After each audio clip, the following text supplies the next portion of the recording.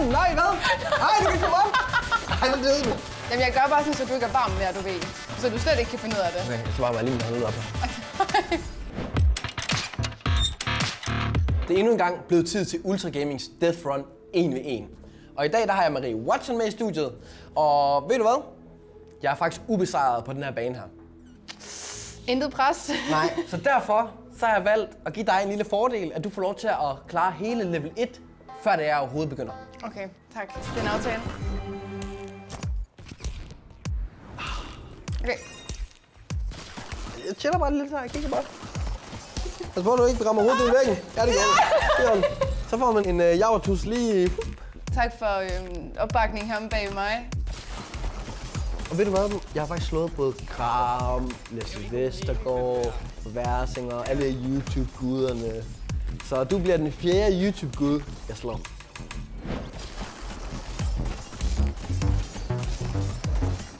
Den spiser dig. Hvad, hvordan er du videre? Du har lige præcis nok fart på. Ej, du er videre. Er du kommet til? Nej, nej, nej, nej, nej, nej, nej, nej, nej! Åh, oh, nej, du kan gøre den. Nej, hvad? Nej, du kan komme op. Ej, hvor døde du. Jamen, jeg gør bare sådan, så du ikke er varm mere, du ved. Jeg gør dig så du kold. venter til, at jeg bliver helt iskold. Fuldkommen, så du slet ikke kan finde ud af det. Okay, jeg svarer mig lige med hånden op her. Åh, oh, der rammer du den igen. Nej! Ja, der var det, der var det sgu skulderen, du brækkede der. Nej! Okay, det var min... Ja. Nej, jeg gik ingen chips. Jeg gik ingen chips her. Nej. Altså, jeg gør virkelig mit bedste. Det er dårligt forbindelse der i studiet. Jeg er fuldkommen. Okay. Jeg er fuldkommen. Åh, oh, du er nej! Jeg vidste ikke, jeg skulle Jeg starter nu. Ej, jeg er virkelig presset nu. Ej, jeg er helt vildt presset. Jeg er ikke engang respawnet, okay, sådan der. Nu skal jeg bare hoppe. Du skal bare på den. Ej, jeg døde, jeg døde. Du har gjort, faktisk gjort mig iskold. Du puttede mig i fryseren. Jeg skal herover. Marie er jo ved level 2. Og nu er jeg ved at indhente den. Jamen, jeg... Kan du så Hvor skal jeg hen, jo? Jeg skal Altså, du- herover. Den klarer du. Ja, ja. Det er jo mere dig, jeg er nervøs for, fordi du siger, du kommer alt muligt jo her. Ja, ja, jeg er lige efter dig. Jeg kan lugte dig. Jeg er allerede level 2 nu. Nej! Fuck! Ah! Hør op.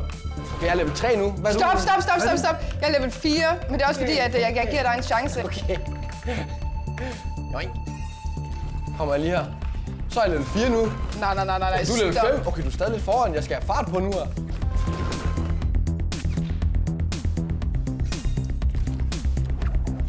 Nej, jeg flyver ind i væggen, mand. Vi er kommet nu til det sværeste level. Det er level 5. Her der har alle siddet fast, især Gram. Manden i går, han har slået hovedet ind i den der kant, du ser deroppe. En million gange. Hvorfor? Det, det flyver ikke nok. Ligesom du er i gang med lige nu.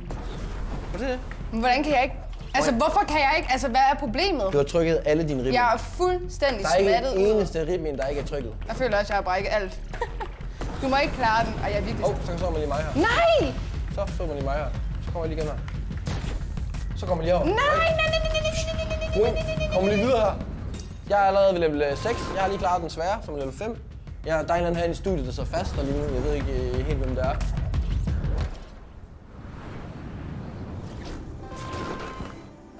Jamen, jeg, der, der er noget galt med min karakter. Jeg kan ikke komme igennem det der forpulede hul, altså.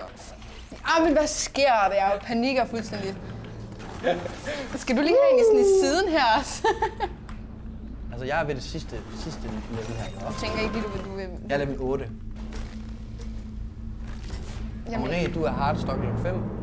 jamen altså, det er fordi, jeg har høje hæl på på den her karakter. Prøv at se, hvad det er.